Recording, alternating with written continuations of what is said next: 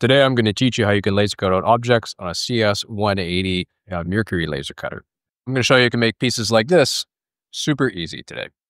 I'm Brogan Pratt. I've been teaching students how to use laser cutters for years now, so hopefully this can help you get up and started. This tutorial is for absolute beginners, uh, and it assumes you've already got a design ready, but not formatted correctly in Adobe Illustrator. I'm going to show you how you can set up your documents in Adobe Illustrator, send them over to a laser cutter, set up your pen settings properly so you get the proper power, and then how you can actually cut your designs to make sure that they come out nice and crisp. So for this laser cutter, everything starts in Adobe Illustrator and using SVG files. So I'm going to go ahead and create a new file. And the file I'm going to choose is the size of my laser cutter board. For me, on the smaller laser cutter that we have, it's 41 centimeters wide by 30 centimeters tall. So I'm going to go ahead and put in centimeters here. Change my units if I'm on points. And select, oh, I'm going to choose color mode of RGB color because CYMK is not going to work for the laser cutter. So I'm going to say create. Now I can either do my design in Illustrator or I can import an SVG file that I created in Fusion.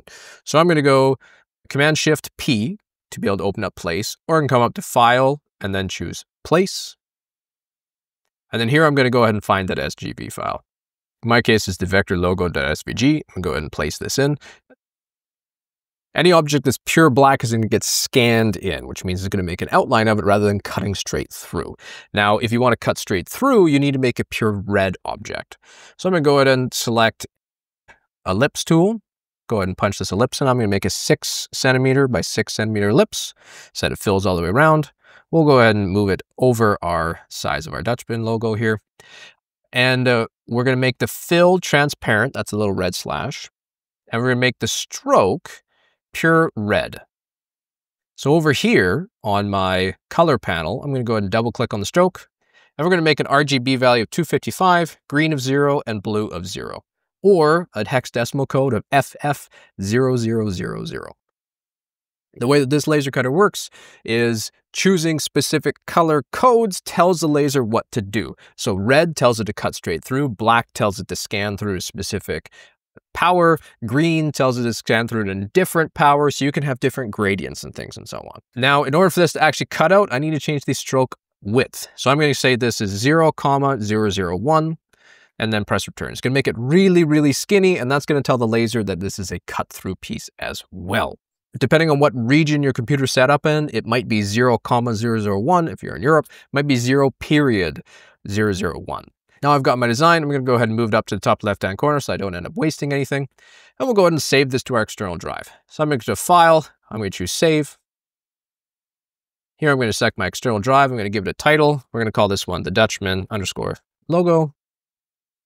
And we're going to click Save. You can save it as an Illustrator 2020 file, all these check marks are fine. You don't have to worry about changing any of these settings. Select OK. And then the last thing you have to make sure you do is make sure you eject your drive. So you can either right click and say eject, or you can click this little triangle with a line to make sure you're safely removing this from your computer. Now the laser cutter on, it's going to start initializing up our machine.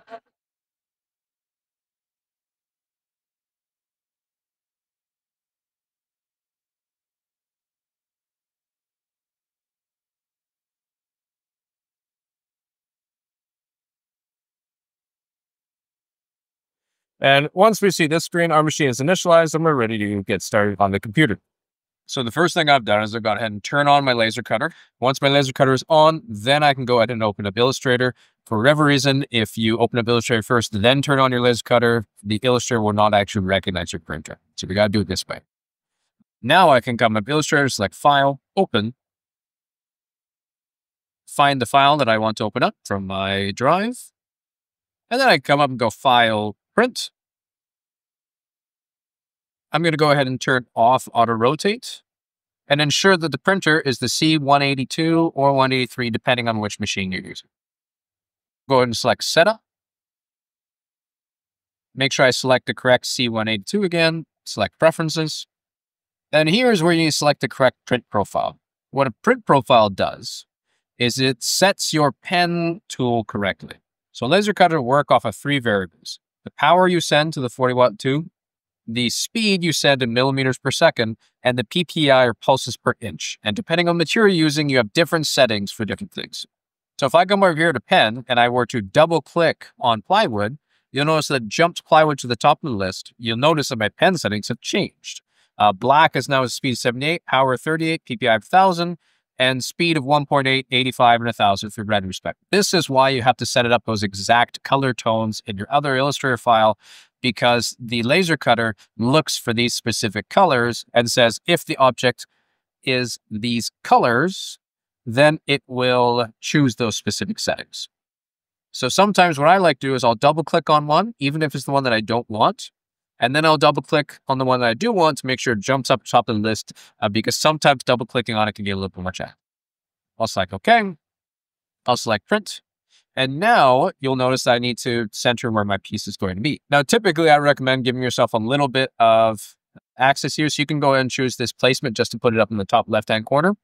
If you've already added padding around your design, this should be fine. If you don't have padding around your design, adding in a comma, comma five, comma five padding, oops, should be enough that you get just enough distance. But sometimes you might be working with stock like this, where I have pieces already in the top. So what I need to do is I need to measure down from my top Y coordinate is. For this one, I've already measured is about four centimeters.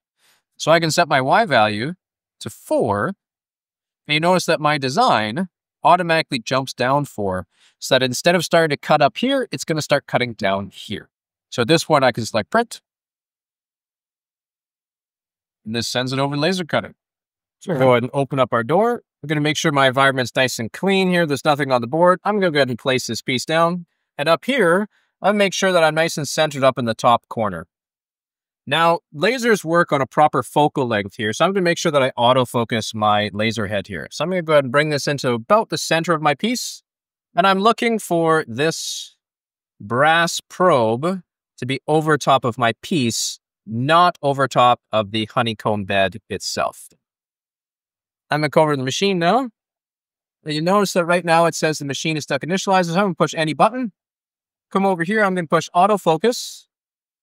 And when I do push autofocus, you're going to notice it's going to come down, press that bra brass probe to the end, and then lift itself back up. Once it's done there, we can see that the machine is done. We can go ahead and press F1 here to choose back. And now we're going to go ahead and find our correct file. So we'll go ahead and bring our lid back down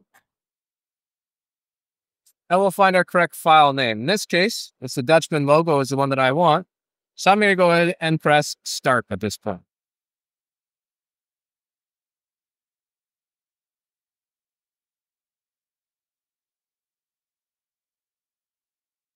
Once the piece is done, I'm going to wait a few seconds before I take it out of the machine to make sure I clear to So I hope you found that tutorial on how to use laser cutters helpful and best of luck on your next robotics project.